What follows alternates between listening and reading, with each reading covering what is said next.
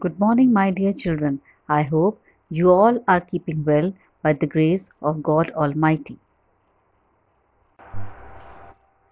Today, we shall start the next lesson in moral science that is, lesson number 10 Good Habits.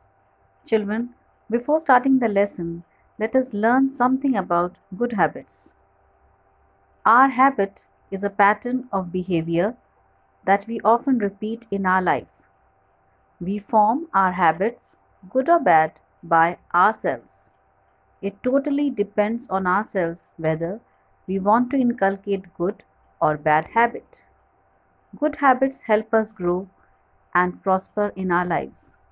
It makes us disciplined and better human beings. Good habits not only keep us healthy but also helps us in gaining respect among our fellow beings. Children, now open page number 39 in your moral science book. And we shall start with the lesson. We should acquire good habits. We should not develop those habits which are harmful. On this page, there are some good habits. Let us learn about them. We must wake up early in the morning. Children, you should go to bed early in the night and get up early in the morning. We must obey our parents. We must obey our teachers. We must pray every day and thank God for everything. We must help the person who need it. We must help the needy person. We must be attentive in the class and listen to the teacher carefully.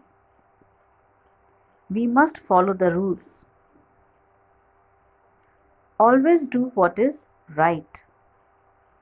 Always speak the truth. Never speak lies.